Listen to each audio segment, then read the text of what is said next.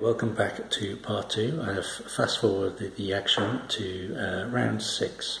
We're on round six here, and under the hard uh, level, um, the I don't know if you can see that in the sunshine, but the um, foe has a resource value of two. So keep bear that in mind.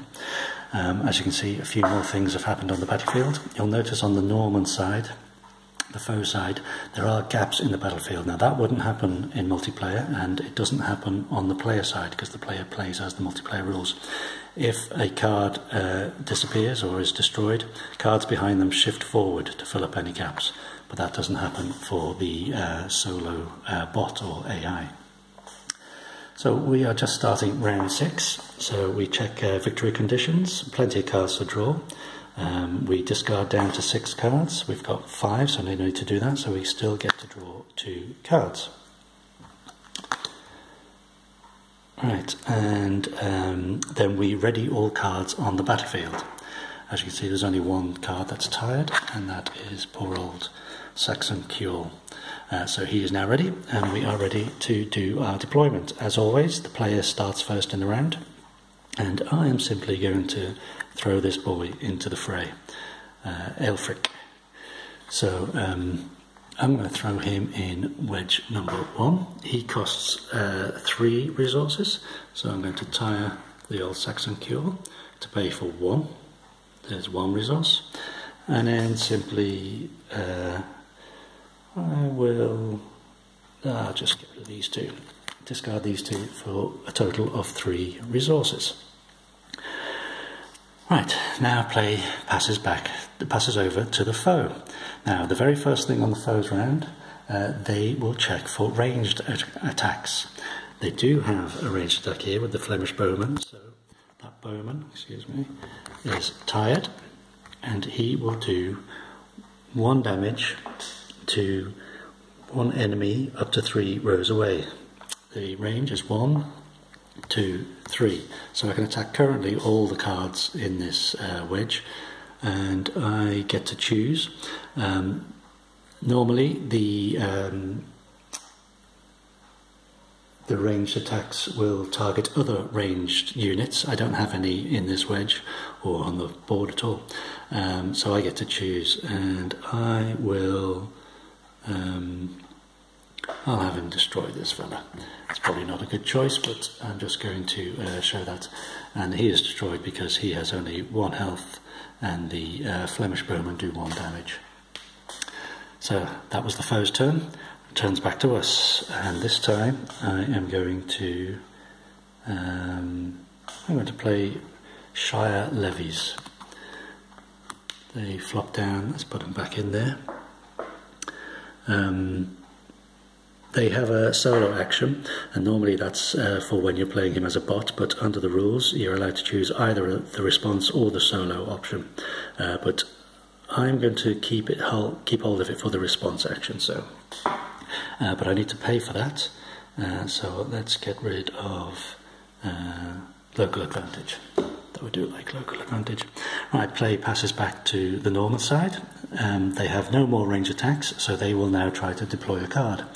And to deploy a card, they have, as we said, from the grid, they have a resource value of two. Normally, you would add on any green rosettes on the battle site, battlefield, but they have none.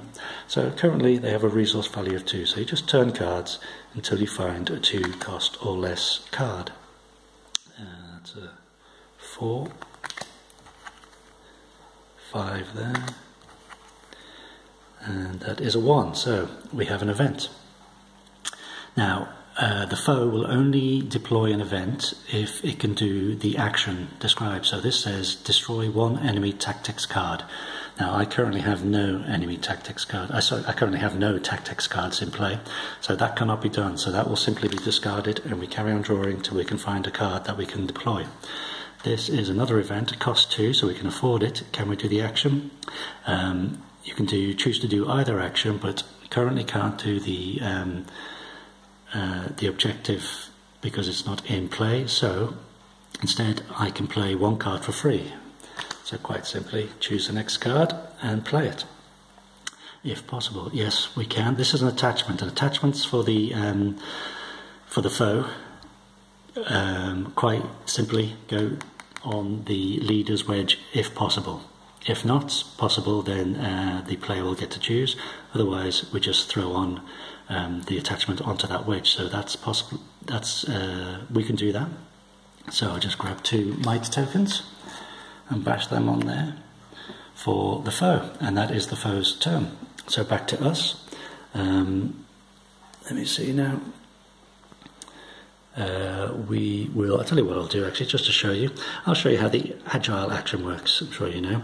Basically, all you do is uh, move this card to a different wedge. So I tire it to do the action, and then I simply move him up to wedge number one from wedge number three. Uh, and then because there's a gap in the, in the field, this card will push forward. Right, back to the Norman side. I'm not saying any of these decisions are good, I'm just saying this is what you can do. Right, so they're going to deploy a card. There's no more range attacks to do, so uh, they're going to deploy a card. And they are still on a value of 2. Now this fella is a 2, so uh, he will uh, go into play. Now when you deploy a card onto the battlefield for the foe, the uh, priority spaces are, uh, the order you place them is 1, 2, 3, 4, 5, 6, 7, 8, 9. So the first available space for him is right there. And he goes in. Any when played, uh, oh, he does have a when played now. He does have the family cost uh, of minus two, but we ignore that. Uh, he does have a when played, but it's learned. The foe always ignores learned. So then it passes back to ourselves, and uh, why not? Let's um, let's throw this Saxon Mace Men on, and to uh, to pay for him, I'll just discard my last card. Then play passes back to the Normans. Uh, no ranged attacks, so we go to the deck again. And this time, the resource value is now three because they have two on the grid and one on the battlefield. So they can afford cards up to the cost of three. This is cost of two, so he will go into play. This is a ranged uh, unit some more bowmen. This is the Breton bowman this time. Now, normally, as I said, the next available space would be this because one, two, three, four, five, six. However, ranged um, units or ranged cards will always try to target, always try to always prioritize being placed in the leader's wedge, same wedge as the leader. So I will skip a space there and to place him down.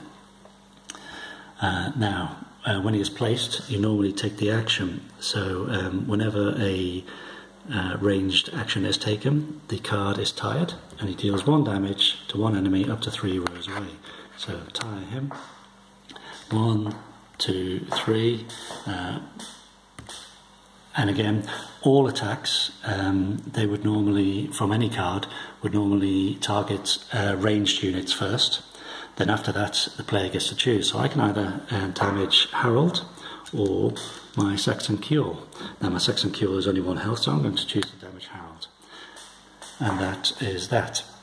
Play passes back to me. Uh, I could take actions from the field, but I don't think I have anything I want to do. I have no cards in hand, so I'm going to pass. When you pass, the play passes back to the Norman. Um, they will then carry out all their range attacks that aren't currently tired. And then they will play, uh, uh, go on to deploy one last card. So the current resource value is three. So we flip through for a three cost card. Here's one here, and it's the Flemish Horseman. Horseman. Again, the first available space according to the priority grid is there, and that's where they go. Um, they would gain plus one might if they were in row three, but they're not, they're in row two, so they will go there. And then the normal player passes, and that is the end of the deployment phase. We then go on to the wedge phase. Neither of us are at Hastings, so that stops there. And we go to the objective phase. Quite simply, any cards that aren't tired, we would calculate for the Normans. It's a zeal battle. So we'd calculate the zeal, which is 0, 1, 4, ignore that because it's tired, but it doesn't have one anyway, 5, uh, 6, and tired, so it doesn't count. So 6 minus 1 is 5 the Normans would do five damage um, to that objective, which would take this up to, as they already had two on, take it up to seven, so that the objective is defeated. And we would do the same on this side, but because it's a might uh, attribute, we would do it with the might. Um, but no need to do that. I can do that off camera. So that shows you that. That's the end of round six.